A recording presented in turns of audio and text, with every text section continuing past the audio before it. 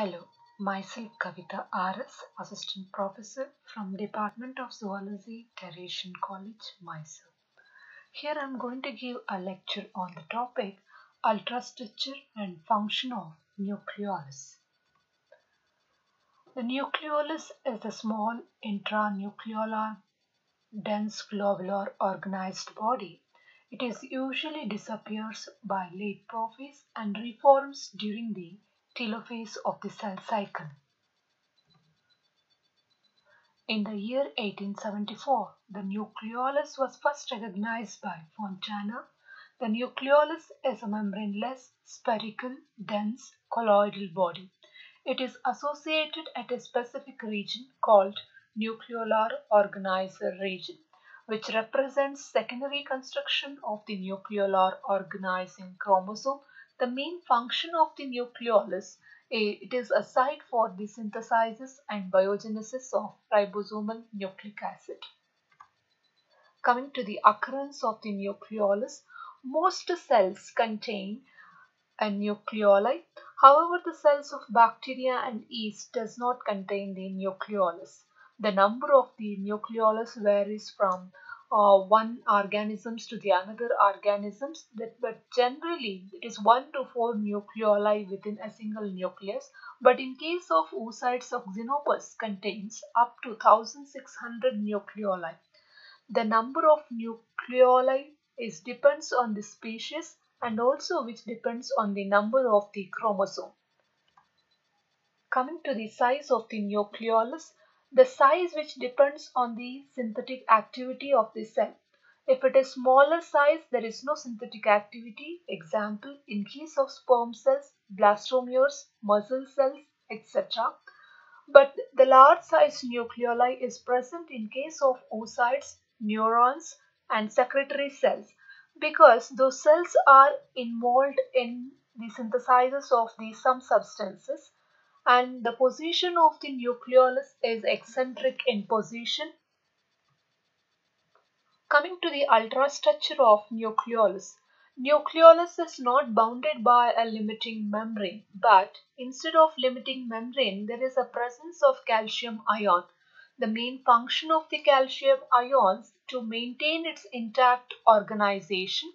The structurally there are four important components in nucleolus the first one is amorphous matrix, granular component, fibrillar composition and chromatin region. The first one is amorphous matrix is also known as pars amorpha. It is a homogeneous ground substance of the nucleolus which composed of proteins and some enzymes which is required for the RNA synthesis that is the RNA splicing which needs the enzymes that is spliceosome. Those are present within the amorphous matrix. Along with that, there is uh, another two structural components that is fibrils and granules which are immersed in amorphous matrix. That is granular area which is also known as pars granulosa. It consists of granules of which lies scattered in the amorphous matrix. The granules contains proteins and RNA in the ratio of 2 is to 1. Those are the precursors for the synthesis of ribosome. Fibrillar portions is also known as pars fibrillosa. In the center of the nucleoli, there is a region of much denser fibrous network surrounded by granular area.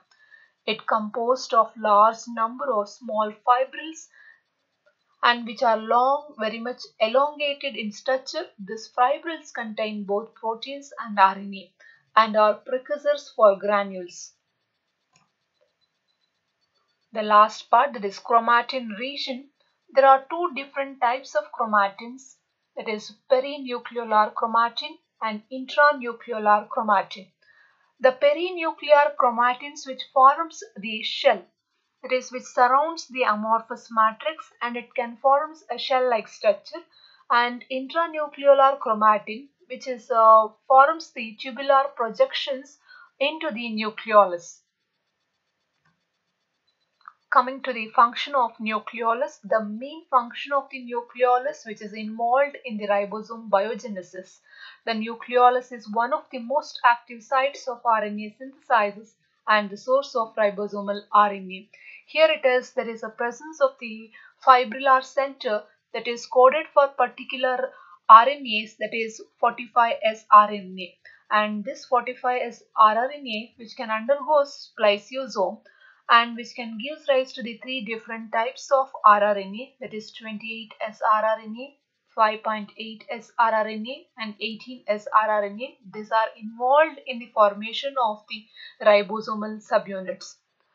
And these granules are the precursors of the ribosomes and it stores the nucleoproteins which is required for the splicing and it is essential for the spindle formation during nucleolar division. Thank you.